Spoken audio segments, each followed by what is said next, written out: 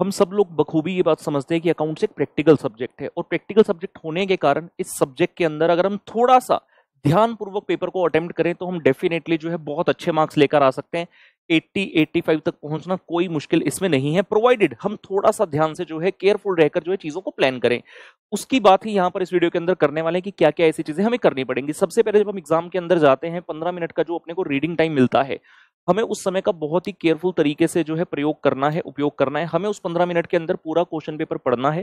जितनी बार हो सके उतनी बार एटलीस्ट हमें ये पता चल जाना चाहिए कि कौन सा क्वेश्चन किस पर्टिकुलर चैप्टर से है और उस चैप्टर के अंदर किस पर्टिकुलर कॉन्सेप्ट से है। अकाउंटिंग स्टैंडर्ड का पहला क्वेश्चन आता है, हमें पढ़कर पता चल जाना चाहिए कि कौन से कौन से ए एस से क्वेश्चन आया है। और अगर बाई चांस अपने को पैरा नंबर याद है तो बहुत ही अच्छी बात है, सोने पे सुहागा हो गया। उस पंद्रह मिनट के अंदर ये डिसाइड होना चाहिए क्योंकि, कि अपने को कौन सा पर्टिकुलर क्वेश्चन छोड़ना है? क्योंकि एग्ज़ाम के अंदर एक क्वेश्चन की चॉइस आने वाली है। कौन सा छोड़ना और बाकी सारे अपने को करने हैं? जो करने हैं, उसमें भी कौन सा पहले करना है, कौन सा बाद में करना है, ये भी डिसाइड करना है। क्योंकि अगर पाँच क्वेश्चन अपन कर रहे हैं, सिर्फ़ ये मैटर नहीं करता कि हाँ वो पाँच कर रहे हैं। उनका सीरियल ऑर्डर क्या रहने वाले वो भी अपने को ध्यानपूर्वक प्लान करना होगा।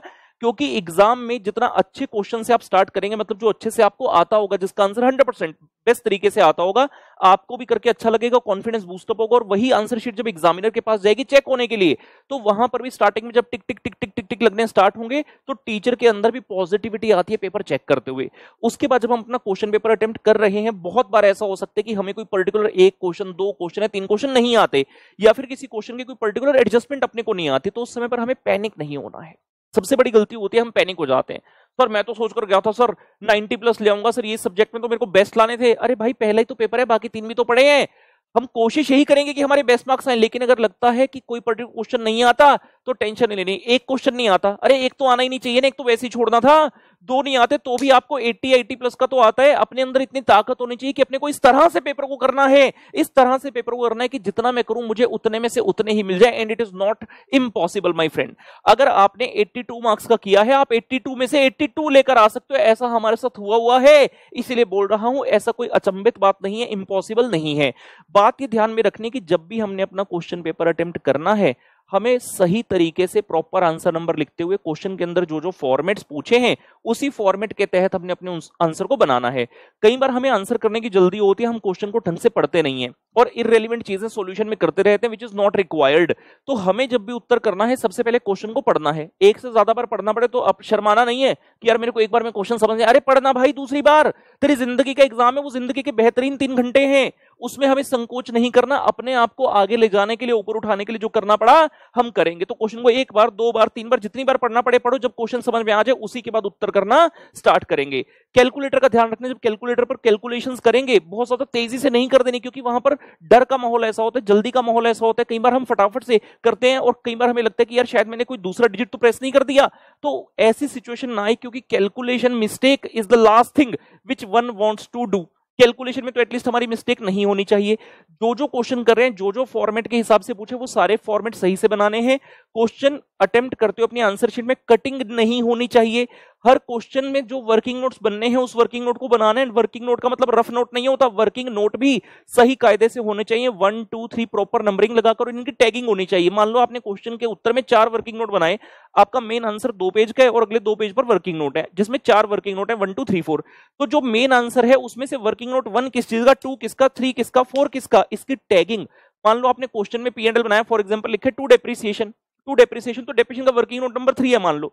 तो डेप्रिसिएशन के ब्रैकेट में आना चाहिए डब्ल्यू एन थ्री ऐसा अपने को लिखना सो दैट टीचर के लिए ईजी रहे जब वो आपको आंसर शीट चेक करेगा। कई बार ऐसा होता है कि क्वेश्चन के अंदर कोई वेग चीज़ होती है, एक से ज़्यादा मीनिंग निकलता है उस चीज़ का तो उसके बारे में आपने अजम्पन जो है लिख देनी है। यूजली हम कहते हैं कि जो भी अजम्पन होगा, उसको आपने अंत में लिखना। मतलब मेन क्वेश्चन अपना अटेम्प्ट करने के बाद। लेकिन हो सकता है अजम्पन इतनी स्ट्रॉन्ग है कि उसके बेस पे पूरा क्वेश्चन डिपेंड करता है तो हमने ऐसे अजम्पन को स्टार्टिंग में ही लिख देना। जहाँ तक अकाउंटिंग स्टैंडर्ड का क्वेश्चन अटेम्प्ट करने की बात आती है, जो भी अपना एएस का आंसर स्टार्ट करेंगे, उसमें एएस का नंबर और उस एएस का नाम लिखे बिना शुरू करना ही नहीं है। इस चीज़ को तो गांठ बाँध लीजिए। एएस का नंबर एएस का नाम और अगर उसके बाद पैरा नंबर पता है तो वो भी अपने को लिखना है। जब अपन क्वेश्चन पेपर अटेम्प्ट कर रहे हैं एक क्वेश्चन के अंदर जितने भी सब पार्ट हैं, उन सभी को एक ही जगह पर करना है और उनकी हैरारकी मत हिलाना। अगर चार पार्ट है एबीसीडी जैसे फ़र्स्ट क्वेश्चन है अकाउंटिंग स्टैंडर्ड का, चार पार्ट है एबीसीडी तो भाई एबीसीडी ही होना चाहिए। B D A C B C D A ये नहीं चलेगा। ए बी सी डी इस प्रकार से करना चाहिए। अगर कोई पार्ट नहीं आता, फ़िलहाल के लिए जगह छोड़ जाओ, बाद में आकर कर लेना। बच्चे कहते अगर बाद में हमें ना याद आया तो क्या तो क्या? कुछ नहीं बेटा, कुछ नहीं। ऐसे नहीं सोचना कि अगर बाद में ना याद आया तो ठीक है भाई, नहीं लिखा ना, क्या हो गया? कोई कत्ल थोड़ी कर दिया? कोई जुल्म थोड़ी कर दिया? गुनाह थोड़ी है? तो हमें बहुत ही केयरफुल तरीके से उस तीन घंटे को अपने यूटिलाइज करना है। याद रखनी है बात, ज़िंदगी के तीन घंटे हमसे कोई नहीं ले सकता और यही तीन घंटे हैं जो डिसाइड करेंगे कि क्या आने वाले कल में मैं चार्टर्ड अकाउंटेंट बनूँगा या नहीं बनूँगा। उस तीन घंटे के अंदर समय बिल्कुल भी वेस्ट नहीं करना। मैं गो टू टॉयलेट में गो टू ड्रिंक वाटर अरे भाई, तीन घंटे के अंदर इन चीज़ों का समय नहीं है। तो अपना पेपर करने पे फोकस कर। एग्ज़ाम में जाने से पहले लाइट फ़ूड खाकर जाना है। ऐसे नहीं परोठे छोले भटूरे वगैरह खा लिए ना। अपने आप को तरोताजा रखना है फिजिकली भी और मेंटली भी, और पूरी तरह से पॉजिटिव माइंडसेट के साथ एग्ज़ाम हॉल के अंदर एंटर होना है। और अगर कोई लगे कि भाई डीमोटिवेट करने की कोशिश कर रहा है, उनको कहना, भाई जय माता दी, जय श्री राम, तू मुझसे दूर हो जाओ और बाकी माता रानी की ब्लेसिंग्स आपके हाथ हमेशा रहेंगी, जो मैंने टिप्स बताई हैं, इन टिप्स का डेफिनेटली आप यूज़ करेंगे तो बहुत अच्छे मार्क्स आपके आएँगे। Bye and all the very best once again